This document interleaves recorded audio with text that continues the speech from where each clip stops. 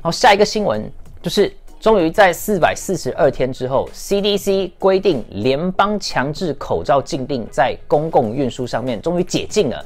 这个禁令应该是四月十八号解除的，但是为了要避免这些联邦政府那些官僚再度延长，终于有一位联邦的法官出手，把这个脑残的政府命令终止了。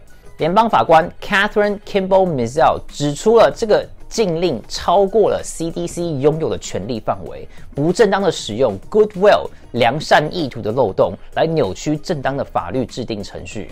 而且无法提供为什么他们会有这样子的决策。这个禁令一被解除，马上就通知了所有的人，包括还在飞机上的乘客。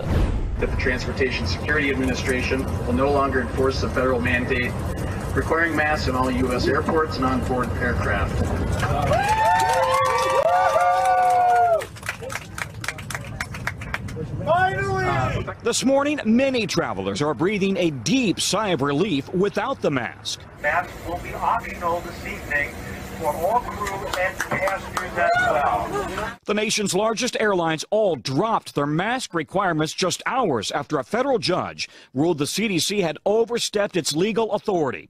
A Trump appointed district court judge writing, Our system does not permit agencies to act unlawfully, even in pursuit of desirable ends.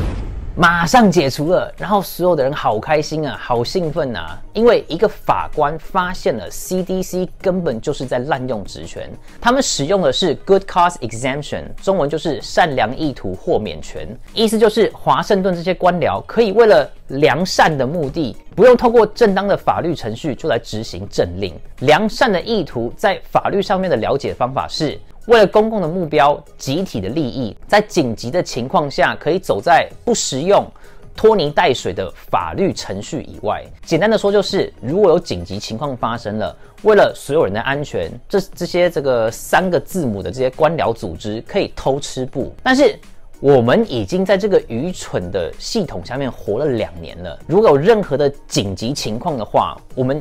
应该已经过了很久了。你看那些影片里面的人，应该都觉得哇哦，这个实在是太棒了吧！我下个礼拜刚好就会坐飞机去田纳西，所以在这边跟大家先请个假。那下个礼拜五，我们如果可以的话，我们会先录；如果说不可以的话，我们下下个礼拜一见。好，回到这个飞机上那些人，全面解禁口罩是非常令人开心的事情。你看看那些飞机上的人多开心，每个人都觉得戴口罩是一个很脑残的一个政令。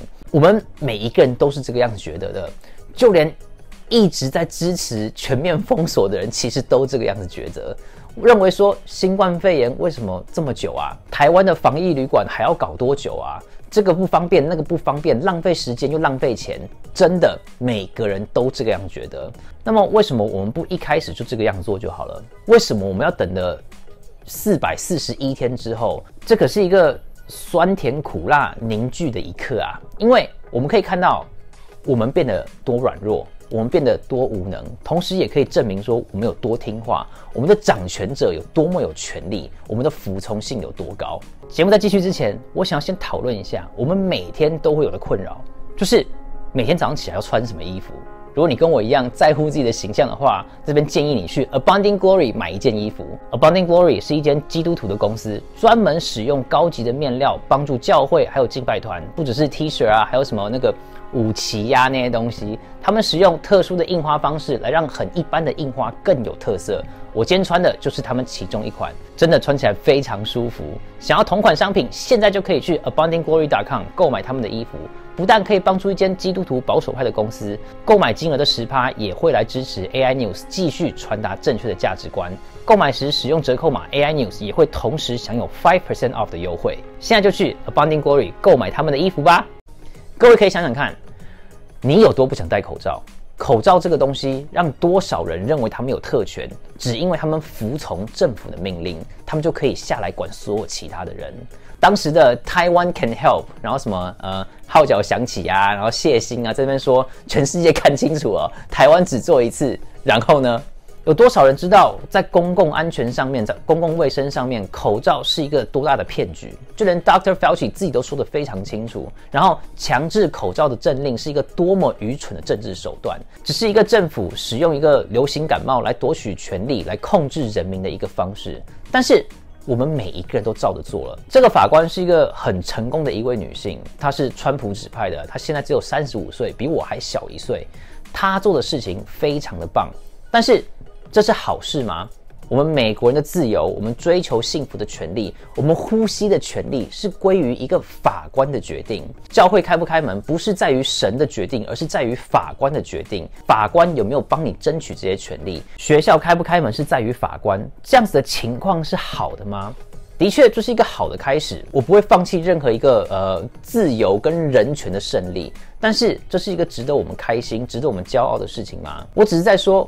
我们已经失去自我太久了，我们已经不再是一个自由之地、勇者之家的国家了。我们是一群听话的羊群，而且我们听的话不是神的话。我们不争取宪法给我们的权利，我们听从的是一群官僚的利益关系而打造我们的生活。不过，这个口罩禁令解除也是有好处的，就是你可以看到左派的崩溃。在这个没什么好事，呃，油价又高，生活吃紧，买不起房子，物价上涨，战争抨击的情况下，能看到左派崩溃是最好抒发自己情绪的管道了。为了让我们的观众更进入情绪，Priscilla，请帮我在这边放一些难过的音乐。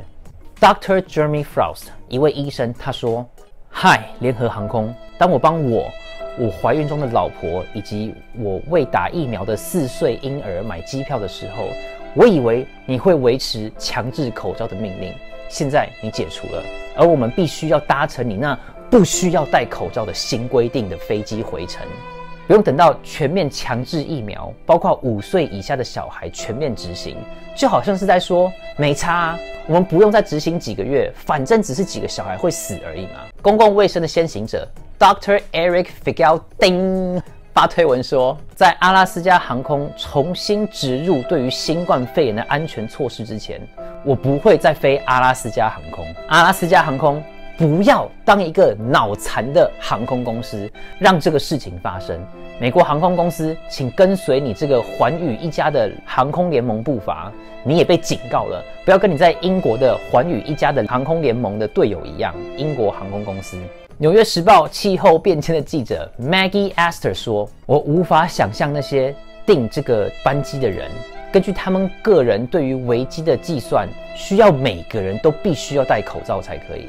结果在空中，在物理上无法逃脱的情况下，他们的计算全部失效了。看到这些左派的人崩溃，是不是很好笑？”不过最后面那个呃，Maggie 说的他是对的，我也是不停的想着那些还被新冠肺炎的意识形态摧残的人，而且嘲笑他们，帮他们祷告，然后帮我自己认罪悔改。